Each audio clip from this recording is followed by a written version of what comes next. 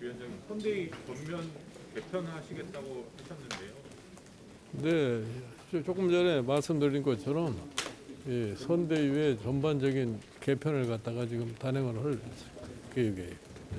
육본부장 사퇴설도 나오는데 아니, 그러니까 뭐 본부장 사퇴를 포함해서 전체 이 구조에 대한 조정도 해야 되고 그러한 개편을 갖다가 단행을 할 겁니다.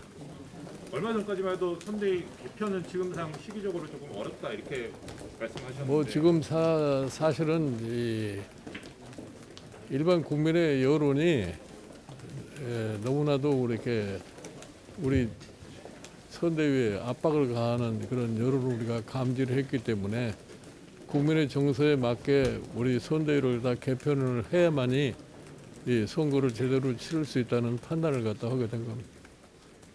연초에 나온 여론조사 결과가 이렇게 선대위 개편에 영향을 끼쳤다고 보면 될까요? 뭐 그것도 어느 정도 영향을 미쳤다고 생각을 하면 돼요. 오늘 선대위에 김민정 교수 불참하셨는데 혹시 선대위 내에서 사퇴가 논의되신 뭐 건지 어, 뭐라고 다시 한번. 김민정 교수가 오늘 불참하셨는데 혹시 네. 선대위 사퇴 논의되신 건지 궁금합니다. 김인정 교수가 선대위 사퇴를 하시겠다고? 아니 아니 불참 오늘 하셨는데 혹시 왜 불참하신 건지 딱히 사유가 있으신지 난 아직 아직 그, 그런 얘기 들어본 적이 지금 없는데. 응. 그 윤석열 후보께서 추경에 대해서 언급을 하셨는데 혹시 추경에 대해서 다시 논의하실 건지 뭐 야당 측에서 그런 입장이신지 궁금합니다. 윤석열 후보가 추경에 대해서 언급을 언제 하셨어요? 아, 앞서서 25조 30조 얘기하시면서 추경에 대해서 긍정적인 발언하셨는데 혹시 야당 측에서 추가적으로 논의 아니 추경이라고 하는 것은 뭐 야당이 추경을 하는 게 아니라 정부 여당이 추경을 갖다가 어, 준비를 해가지고 나오면 거기에 대해 협의를 하는 것이지. 그 특별하게 우리가 무슨 추경을 따로 우리 스스로가 할 수는 없어요.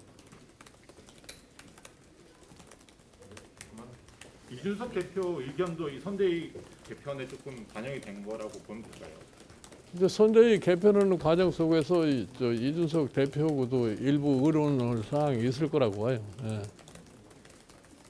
그럼 선대위 개편 과정에서 이준석 대표가 합류할 가능성은 어떻게 판단해요? 응? 이준석 대표가 선대위 개편 이후에 합류할 가능성에 대해서 내가 늘 얘기하지만 이주, 이준석 대표는 당 대표로서 당이 전반적인 소위 체제를 총동원해 가지고서 선거를 갖다가 승리로 이끌어야 할 책무를 지닌 분이 이준석 대표라고. 그 이상의 다른 얘기를 할 수가 없어요.